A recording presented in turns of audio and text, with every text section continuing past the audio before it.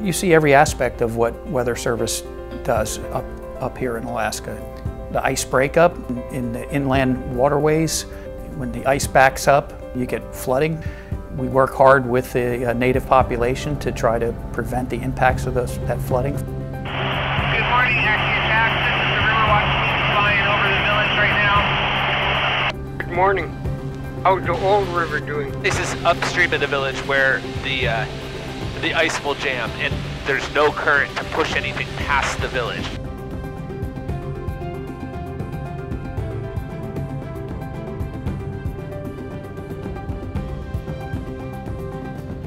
Hey, good morning everyone. Yeah, so we've been flying the river over the past week or so. You know, coming into this, it was looking like the, the lower rivers mushing out. And what I mean by the lower river is from Tuluksak on down.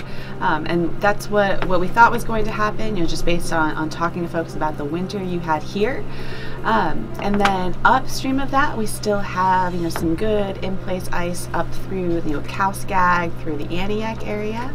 Um, but really the, the, the, main ice that we, we're looking at is the ice that's upriver, you know, in the Crooked Creek and Butte area. So what does this cold weather mean for breakup? It means that breakup is going to take a little bit longer. I realize that people are, you know, impatient to get on with summer, and I know that the birds are in and people want ice to be gone in order to, to commence summer, and I totally get it. People use the river for transportation throughout both the winter and the summer. So in the winter that they have ice roads, um, and those are able to connect villages to Bethel and villages to each other. And then in the summer, people use the Kuskokwim River as transportation in boats. During breakup, they're stuck.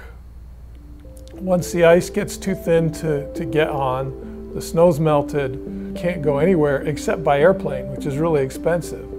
And so you find that uh, people are, are anxiously waiting for the ice to go out. Each year we try to classify or try to describe um, through our outlooks and during the process whether the river is going to break up thermally, where the ice just melts in place, or whether it may break up dynamically. And that's where there's a strong push from snowmelt um, into intact, hard, strong ice, and that's when we see ice jams. As part of Riverwatch, um, the Alaska Division of Homeland Security Emergency Management works very closely with the National Weather Service.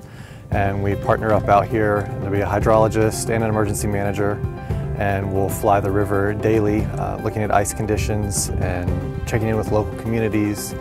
Um, Oftentimes, uh, as it allows, we land in the communities and meet with community leaders to discuss their flooding preparedness plans and other general uh, emergency management information. It's a partnership that we've developed over the years that works together seamlessly.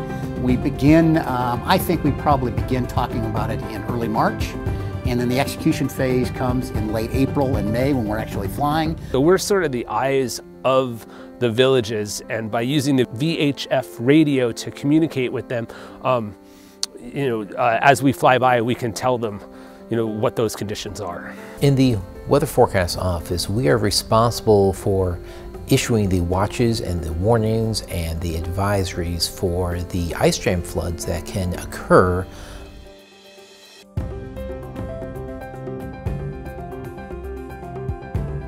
coordinate with the River Forecast Center and with the River Watch team in order to get the best information possible so we can issue these watches and warnings and advisories.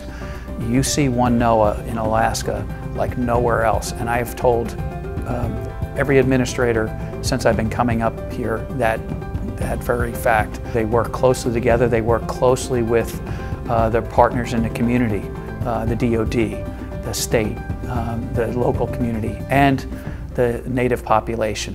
It benefits that community because they're getting the, the expertise that resides here in the River Forecast Center.